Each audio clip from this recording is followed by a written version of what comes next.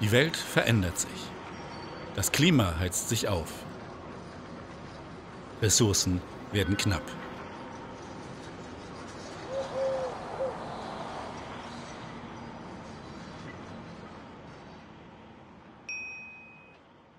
Es gilt, sparsam mit Energie und Material umzugehen. Das sind wir der Umwelt schuldig. Sorgsam mit Energie und Materialien umzugehen, kommt aber auch Unternehmen zugute. Es senkt Kosten, es reduziert die Abhängigkeit von Rohstoffen und es verkleinert den ökologischen Fußabdruck der Unternehmen. Energie- und Materialeffizienz sind deshalb zentrale Strategien für Umwelt und Unternehmen.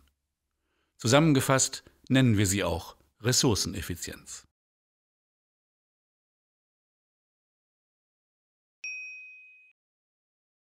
Wie können Unternehmen Ressourceneffizienz möglichst wirkungsvoll umsetzen?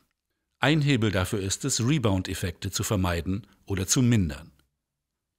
Was genau sind Rebound-Effekte?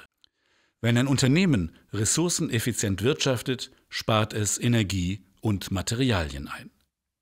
Die eingesparten Ressourcen kann das Unternehmen in der Folge nutzen, um seine Produktion auszuweiten, um zu investieren oder um die neuen und effizienteren Technologien intensiver zu nutzen.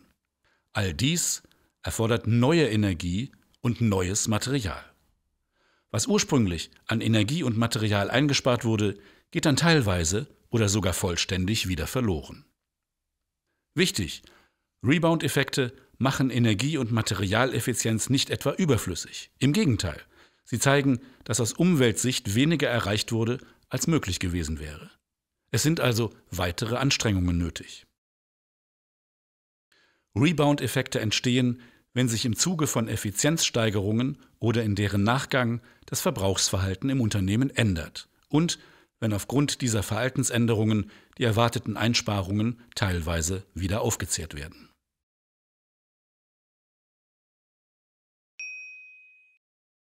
Ein eingängiges Beispiel.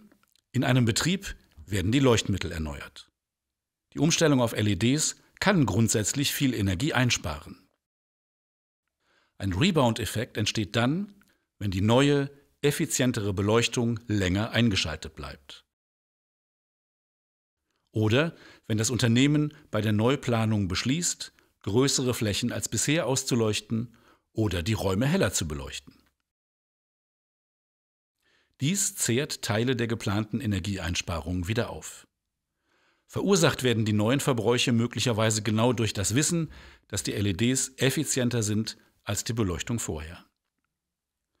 Eine effizientere Technologie oder ein effizienterer Prozess wird intensiver genutzt, als es zuvor der Fall war. Diesen Rebound-Effekt nennt man Reutilization-Effekt. Der wohl bekannteste Rebound ist der Output-Effekt. Hier werden die Effizienzgewinne genutzt, um den Output des Betriebs zu erhöhen. Beispielsweise setzt das Unternehmen eingespartes Material ein, um mehr Produkte herzustellen. Oder die Firma nutzt finanzielle Effizienzgewinne dafür, ihr Produkt stärker zu bewerben. Oder sie senkt den Produktpreis. In der Folge setzt sie mehr Produkte ab. Steigt die Produktion, steigt auch der Verbrauch von Energie und Materialien. So werden die Einsparungen der Effizienzmaßnahme durch neue Verbräuche gemindert. Es gibt noch weitere Typen von Rebounds. Reinvestment und Respending-Effekt, Redesign-Effekt, Faktor-Substitutionseffekt und Frontier-Effekt. Auch bei ihnen werden die Einsparungen der Effizienzmaßnahme jeweils durch neue Verbräuche gemindert, gelegentlich sogar aufgezehrt.